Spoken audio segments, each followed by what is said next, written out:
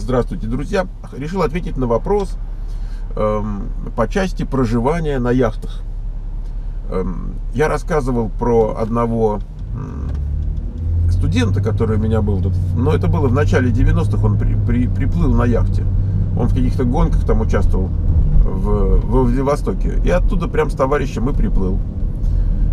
Эм, ну и так он, я не могу сказать, что он бедствовал, но он пока получил политическое убежище, и так как-то вот он, значит, на этой яхте там в Марине, он ее там запарковал, и подрабатывал тем, что, значит, на других яхтах где-то где чистил, где-то красил, там много такой работежки. Вот, ну и жили они на этой своей яхте вдвоем. А потом он уже попал к нам, его взяли на работу в Microsoft, и я рассказывал смешную историю, что его взяли на работу в Microsoft, и надо было ехать туда, в Редмонд. Вот. И он им говорит, что я не доплыву, там подтекает яхта моя.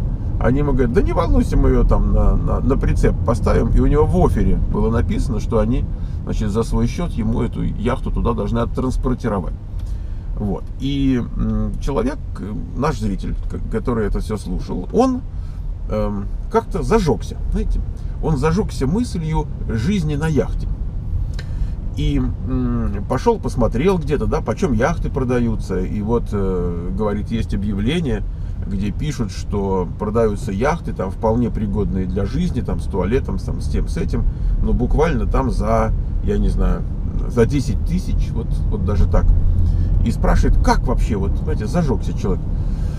Эм, чтобы я рассказал на эту тему что-то, но, но все-таки давайте начнем с того, что тот товарищ, о котором я рассказывал, находился в достаточно бедственном положении. Понимаете, он не жил на яхте, потому что ему нравилось жить на яхте. Он, может быть, с удовольствием жил бы в квартире, у него денег не было, чтобы снять квартиру. При том, что в то время это было намного дешевле, чем сейчас, например. Но, знаете, не было, не было денежки.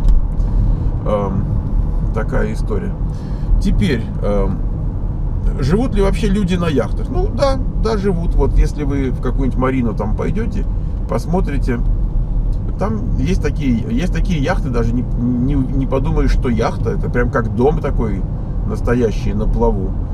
Вот, но есть такие дома, да, есть такие прям вот дом. И вы видите, что это не столько плавательное средство, сколько именно дом. Он на таких понтонах и стоит, и, в общем, абсолютный дом.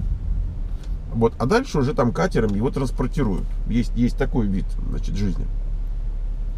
Но что получается, тут аналогия может быть проведена с Mobile э, Home.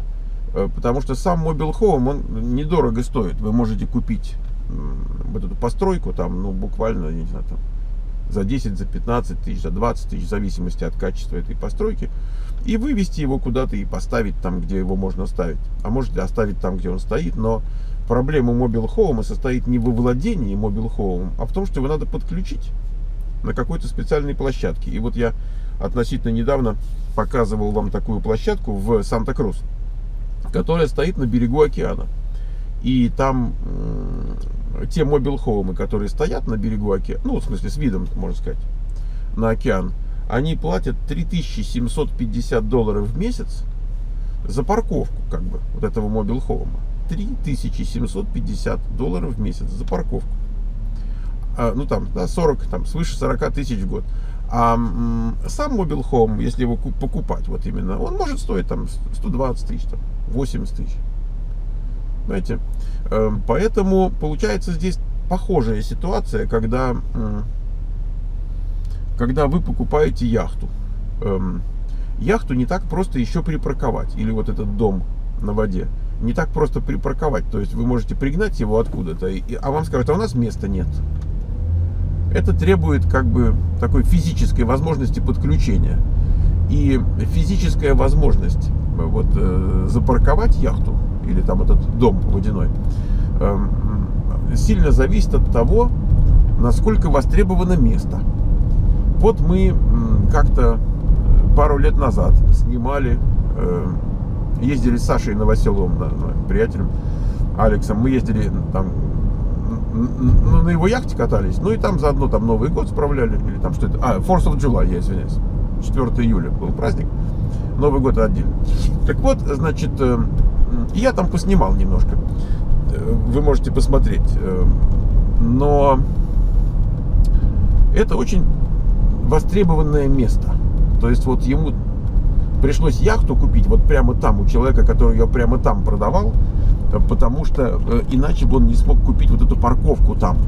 То есть парковка зачастую Э, идет вместе с яхтой. То есть, если, если яхта стоит где-то, и вы ее покупаете, она уже сразу с местом. Вот.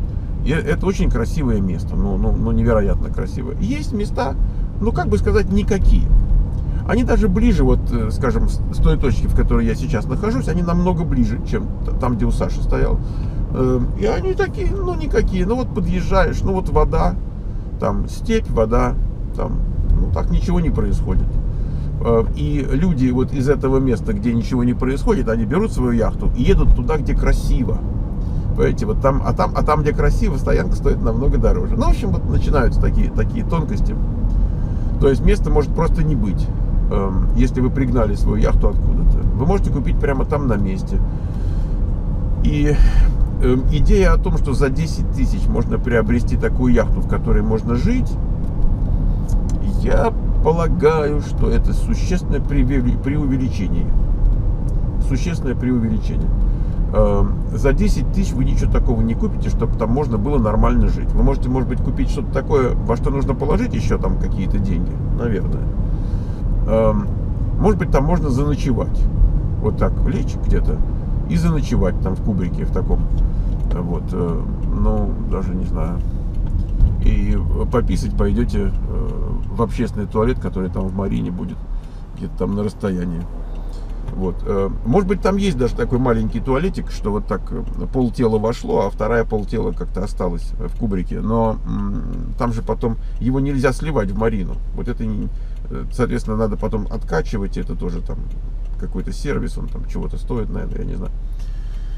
Поэтому, эм, если человек, мой, мое заключение такое, если человек фанатично любит яхты, воду, все эти дела там и так далее, то может быть для него это как бы и вариант, если, особенно, если он не требователен к каким-то вот таким бытовым условиям. Ну, то есть можно жить вот как в палатке.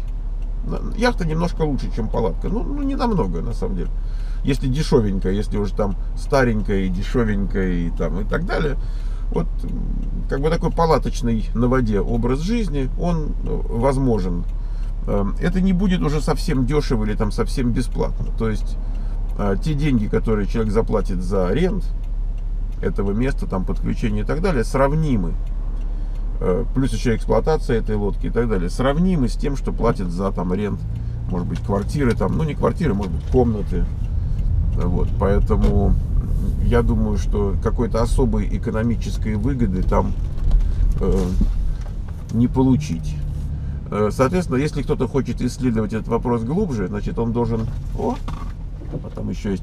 Он должен, э, значит, искать парковочки, так, заходить там на их сайты, смотреть, почем стоит запарковаться и так далее. Вот. Ну и, ну, соответственно, там есть картинки, там этих яхт, которые продаются, там есть их технические параметры там квадратные метры и так далее, поэтому можно вникать, углубляться. Это путь, это, это безусловно путь для тех, кто э, может по нему пройти. Понимаете, это, это далеко не, не каждый может и не каждый хочет и так далее. Я знаю людей, которые могут, например, они где-то живут, но они могут на яхте пожить там пару-тройку дней. Это бывает. Да, даже не уплывая никуда, они могут на выходные там пойти в эту марину, и там у них круг общения, там пацаны вокруг, там они беседуют, там могут, не знаю, там покушать, сходить вместе, там порыбачить. Вот, вот как когда-то в советское время мужики в гараж шли, да? Давайте я камеру поверну, раз мы уже приехали, у которых был гараж, это были особые люди, потому что они, мужики они там в этом гараже проводили много времени, и они там и выпить, конечно, там, как же, вот, и там, знаете, женщин нет, вот они не мешают вот своими этими разговорами. Вот. И они там пойдут, гаечку подкрутят, там, значит, посмотрят там, советов там друг другу надают, опять выпьют, там тряпочкой протрут, что-то прикрутят. Ну, в общем, эм, какой-то отдельный мир. Я когда купил машину, я вспомнил, мне товарищ помог ее пригнать. То есть он сел за руль и пригнал ее из Саратова. Машина была куплена в Саратове. Ну, и их там было два брата, но что-то у них был гараж, и они что-то мне такое там как- как-то так по-дружески что-то прилепили. И младший брат мне дает, значит, э, ну, так, штырь такой, и говорит, пойди там померь, сколько масла. И я, а капот открыт, и я смотрю, и ну, как-то не знал, куда его штырь этот воткнуть. И он, значит, а он уже несколько раз это делал, но я просто не видел. И он мне дает и говорит, иди посмотри. И, и он, когда увидел меня, что я вот с этим штырем стою, и, и я не знаю, куда его воткнуть, у него, знаете, глаза такие стали, он говорит, боже, говорит, бывает, какой счастливый человек, он говорит, бывают люди, которые не знают, как масло померить. Вот, э, понимаете, это целый мир. Понимаете, там люди знают, как померить масло, там они там протирают тряпочкой, там и так далее. Пальцем еще даже был. На цвет, на- по свету масла могут нам что-то сказать про автомобиль там и так далее. Э, Вот это мир такой, э, яхтсменов, это, это отдельный мир. Если вы из этого мира, это один разговор. Если вы просто ищете жилье подешевле, я, я не думаю, что это будет для вас находкой. Если только вы не возьмете жилье подешевле вместе с этим миром, который вы примете и который станет вашим миром. Все, счастливо!